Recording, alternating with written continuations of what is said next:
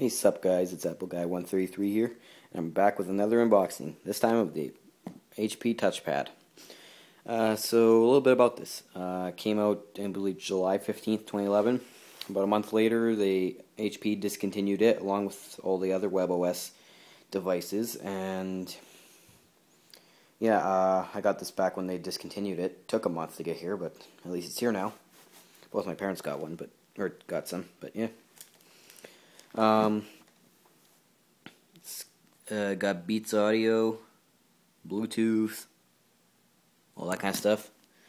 So yeah, um, I will do a comparison between it and my iPad 2. No, I have a white 16 gigabyte iPad 2, so yeah. So, without any further ado, let's get this open up. If I can get this plastic off. This stuff drives me nuts. I'm gonna set the camera down. One second.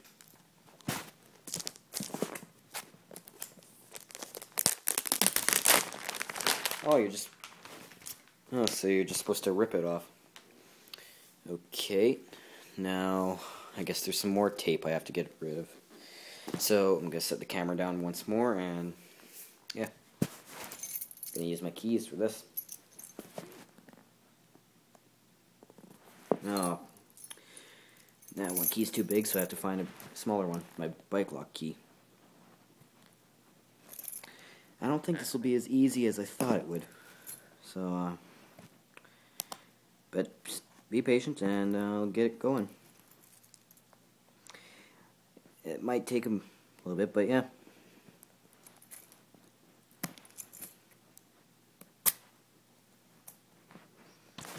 Okay, so I think I got that one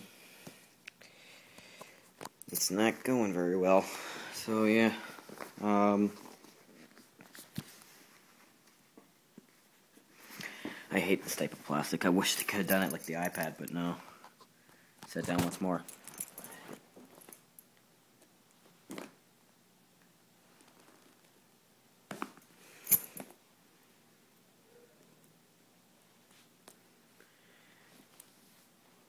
Oh.